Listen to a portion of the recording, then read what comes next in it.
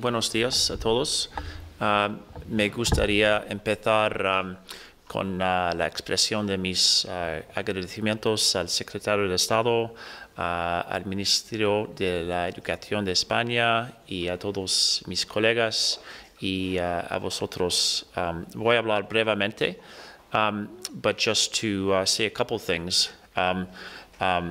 J'aimerais commencer avec un reto, que es I would like to challenge people to tell me of two countries that uh, are closer uh, in many ways and more similar than Canada and Spain. And I'll explain why, because you don't normally think about Canada and Spain in that way.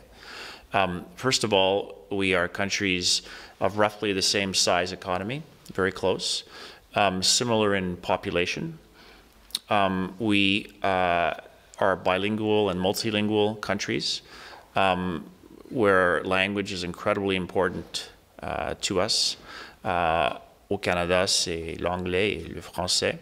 Uh, we're increasingly uh, diverse uh, countries.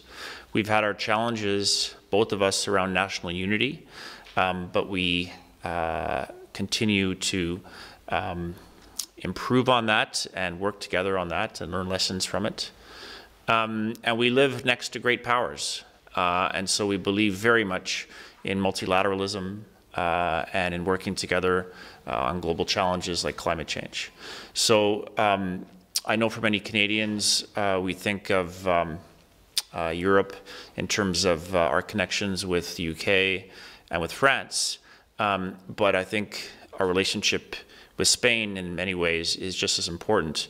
Um, and of course, we have a history um, going back over 500 years with the Spanish, whether it was the Basque fishermen and whalers on the Atlantic coast or the explorers on our Pacific coast. I think the only coast where we don't have a strong relationship is the northern coast, and that's because the Spanish don't like the cold very much, uh, as my Spanish wife would, would confirm. Uh, listen, this is an incredibly important program. I really do believe that. And I'd go a step farther in saying that I, I believe that um, Canada's future will depend on these sorts of international relationships, international contacts. We don't have enough Canadians that go abroad.